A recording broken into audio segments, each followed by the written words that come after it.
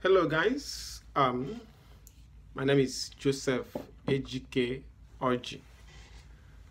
I'm with you again. Um, as you can see, I'm really enjoying my time, the time I spend with you guys. Can't blame me. Uh, I'm a teacher, so I always like to teach. It's my passion. Anyway, today um, I'm gonna introduce you to um, another concept of uh, probability that we call um, mutually exclusive events. Uh, mutually exclusive events and also the addition rule of probability. So let us start. Mutually exclusive events. We call them uh, mutually exclusive events because they cannot occur at the same time. For example, look at these two events, A and B. A and B, they are separate. They cannot happen at the same time. A is separate, B is separate. So we say that A and B are mutually exclusive. How about this one here?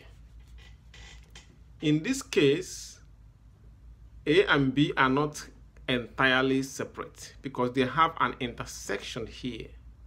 This is where they occur together. See?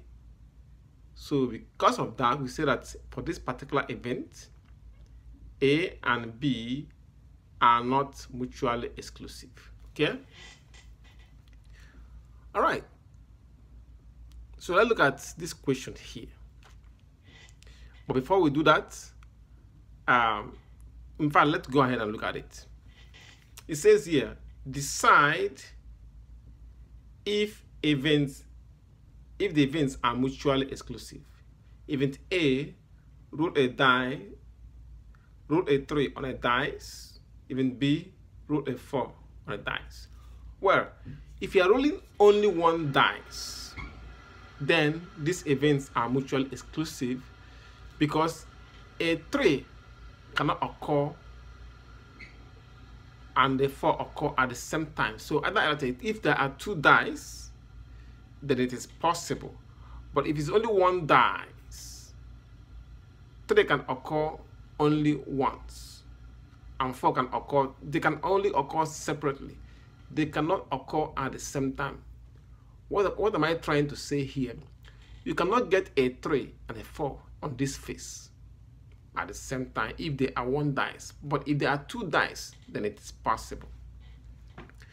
So I wrote here that um, the first event is 3, the second event is 4. So these two outcomes cannot occur at the same time. And because of that, I say that they are mutually um, exclusives. Okay, let me give you more examples of events that are said to be mutually exclusive. Look at the first one. One can either be a Democrat or a Republican. So it is not possible for you to be a Democrat and a Republican at the same time. It's impossible. So we say that these two events are mutually exclusive. Another example, if there are two events sitting down and standing up, you can't be sitting down and standing up at the same time. So the event sitting down and the event standing up are mutually exclusive. How about this? The event getting a 4 and a 6 um, on a single card is when a single card is drawn. How do we know it? Let's look at the, the chart for a card. It says the event of getting a 4 and a 6 at the same time in a single card. When we look at the card we have here, none of, see a 6, right? all these cards here are 6. All these ones are 4s. So you cannot get a 6 and a 4 in the same card. Because of that, we say that the two events are mutually exclusive. Okay? Now, next thing we're going to look at is how to solve probabilities of mutually exclusive events and also how to solve the probabilities of non-mutually exclusive events. In each case, the key word is or and we use the formula that we call the addition rule of probability. So um, remember the key word is or.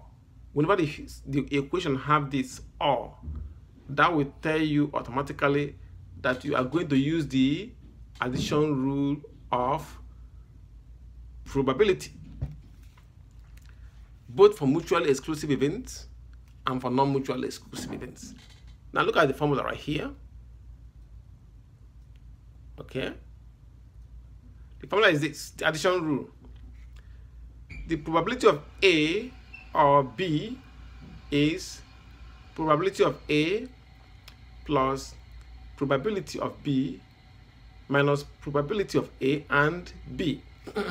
now, some authors will remove this part if they are mutually exclusive.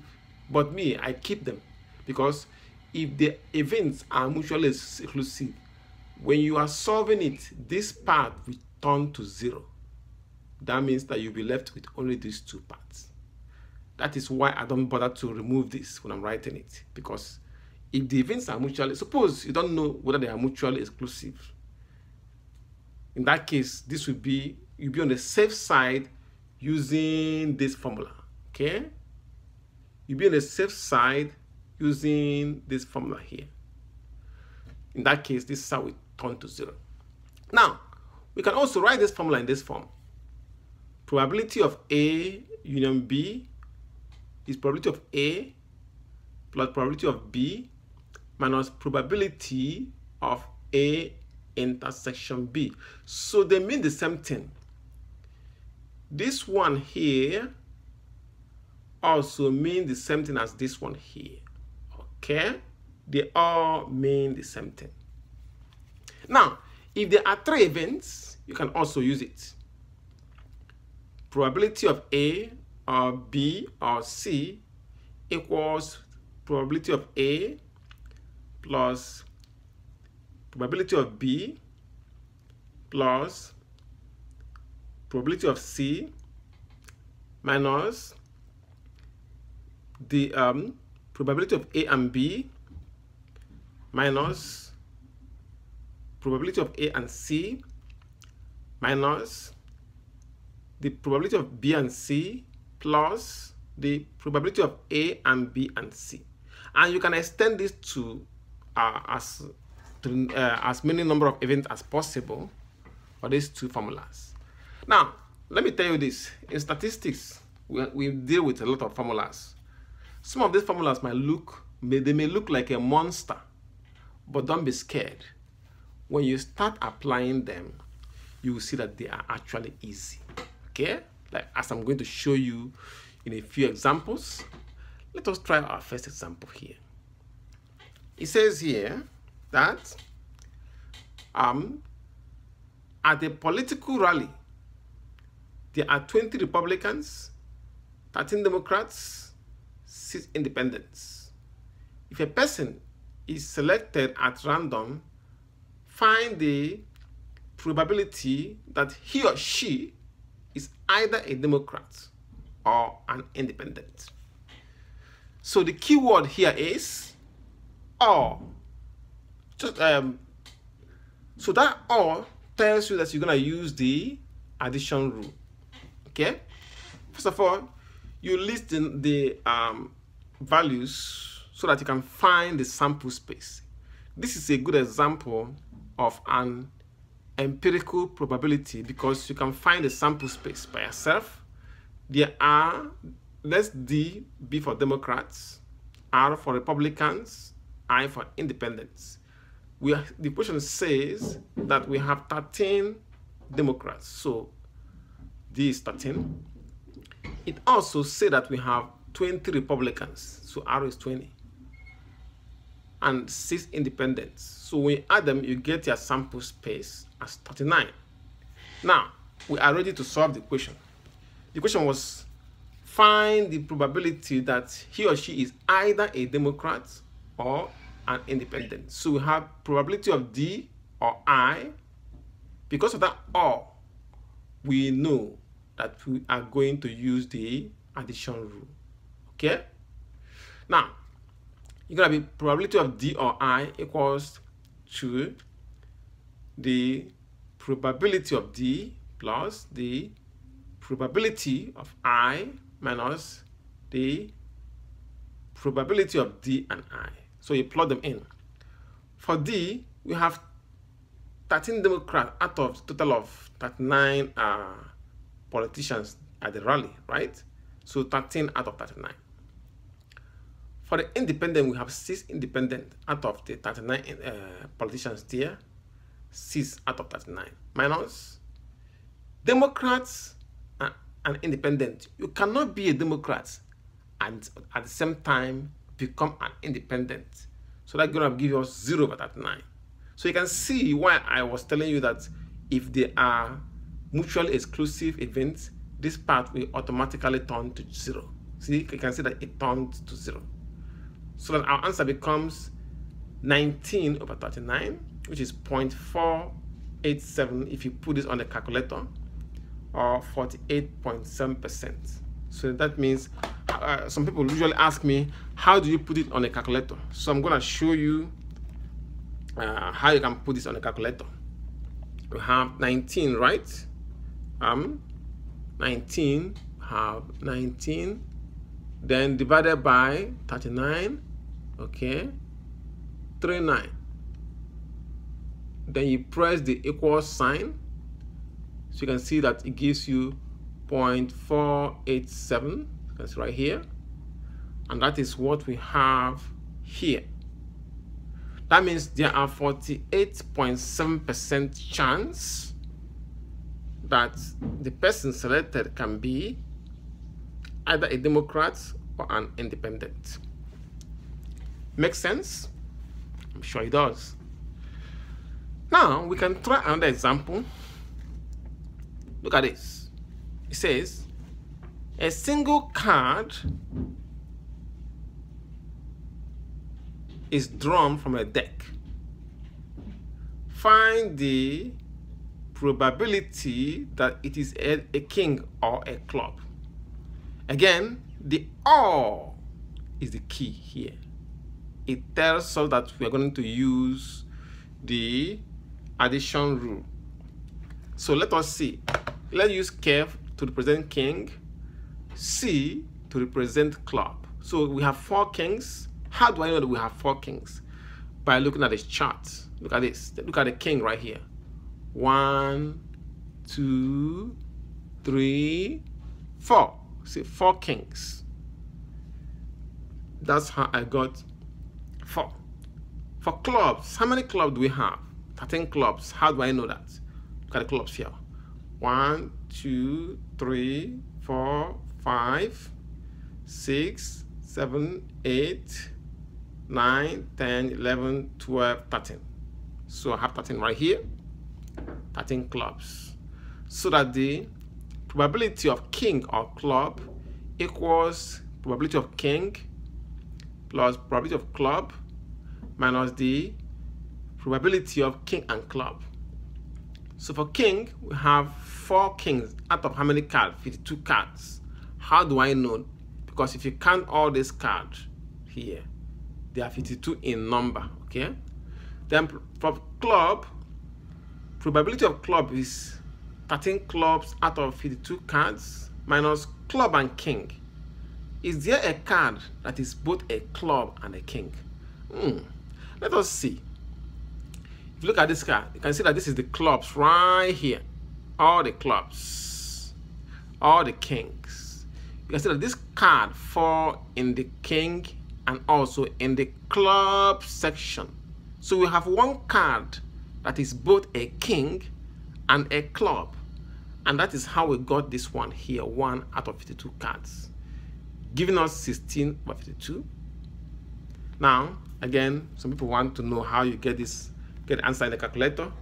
You have, okay, 16 by 52, this here, 16 by 52 will give us some, um, we have, my card had um, 16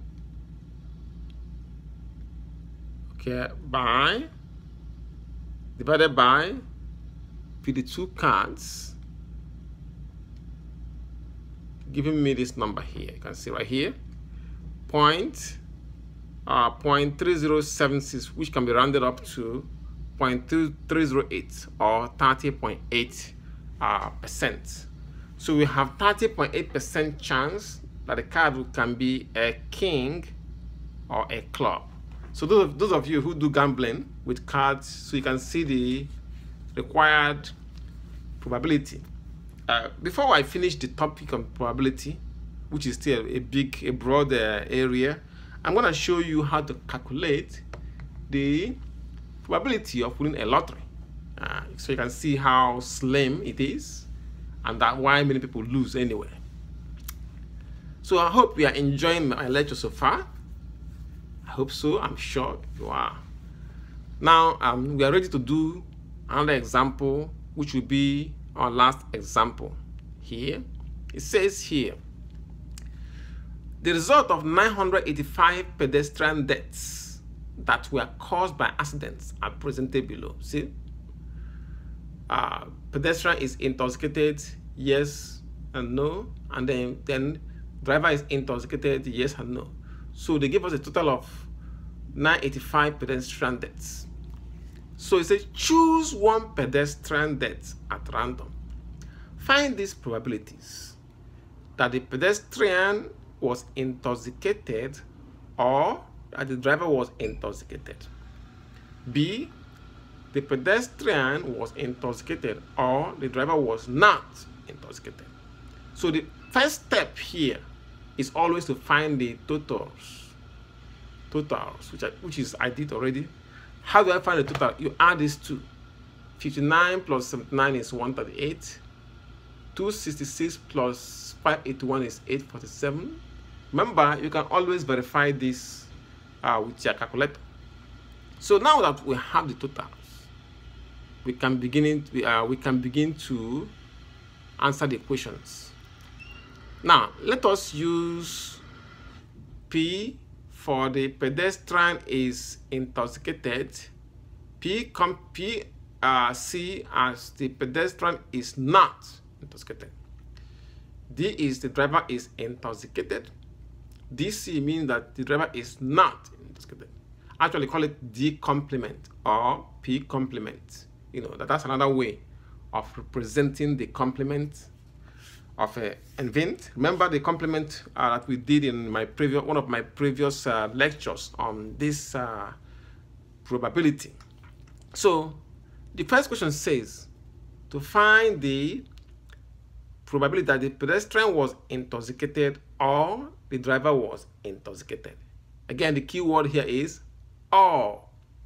That tells us that we are going to use the addition rule. So we plug it here. PDR, P, pedestrian was intoxicated or driver was intoxicated. Is the um, probability of P plus the probability of D minus the probability of P and D. So we plug it in. For pedestrian intoxicated, which is this one, PP, we get from the table all the pedest intoxicated pedestrians here we have 325 out of 985 you can see right here 325 out of 985 plus then next one is this. The driver was intoxicated. All the intoxicated drivers see see driver intoxicated but I use the totals right here 138 out of 985 138 out of 985 minus but in this case both the pedestrian and the driver are intoxicated. In that case you look for their intersection. Uh, I told my students, I tell them all you have to do is to drive, draw a line, draw a line here because it says both the pedestrian and the driver were intoxicated. If you draw a line from here for the drivers and draw a line here for the pedestrian, uh, pedestrian because it says yes, yes, yes. So when both of them are intoxicated, is this is where both the pedestrian and the driver were intoxicated. So where your line crosses tells you where both of them were intoxicated, which is 59. So out of 985, so you can see that 59 out of 985. So you can, if you solve this and calculator and plug it in, you get this answer. Um, now, there's a question my students always ask me. They ask me, how can you do all these things together in a calculator? So that I can show you right away. This is what you do. You have the first one is put parentheses first of all, okay? Now, they all have the same denominator. So just do the top and divide every answer by the bottom. So you have um, 325, um, 3, 2, 5, then plus sign. We got um 138 okay. 1 3 8 then we have minus here. Minus 59 okay. Minus 59 now you can close your parentheses here. Then divide everything by 985 because all of them have a denominator of 985 9 8 oh excuse me I have to go back so that I can put the division sign first. So divide division sign is here right here. They have 9 8 5 and that give me the answer right here. You can see the answer right here uh, 0.410 which is what we have here. Or 41 point or 41 percent. So there are 41 percent chance that both the driver and the pedestrian or uh, that either the driver or the pedestrian are intoxicated. But b says find the probability that the pedestrian was intoxicated or the driver was not intoxicated. Okay. Now this is the formula right here. The um, probability that the pedestrian or the driver pedestrian was intoxicated or the driver was not. That means d complement will be pp plus pd complement minus pp and pd complement now the, this one means the probability that the driver is intoxicated that the pedestrian was intoxicated which give us here all the see this is pedestrian intoxicated, all the intoxicated pedestrian are 325 in number out of 985 overall. You see right here, 325 out of 985. See the plus plus, the probability that driver was not intoxicated. All these not intoxicated drivers, see driver intoxicated, this is no, so no, all of them, all the non-intoxicated drivers are 847 out of um 985. Okay, 847 out of 985. The minus, okay, both the, the pedestrian was intoxicated, um, okay, but the driver was not. So you draw a line here. Uh, pedestrian was intoxicated, driver was not. So you can see that they intersect here at this point here. This is where both the, the driver was intoxicated, but the pedestrian was not.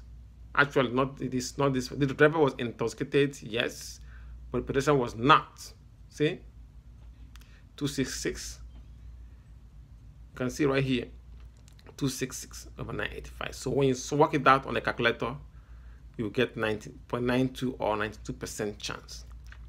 Now, I want to explain one more thing because that was the kind of question my students always usually ask me.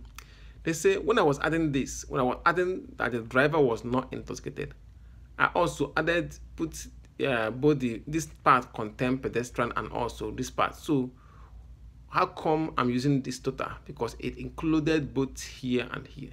Well, the answer is I give them is this.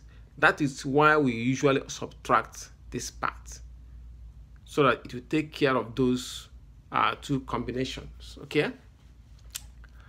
So that's answered our question and that will be the conclusion of our lecture today. Um, I hope you enjoyed my lecture. Please, please remember to subscribe uh, so that you will get informed as soon as I have a new lecture available. Thank you guys and bye-bye.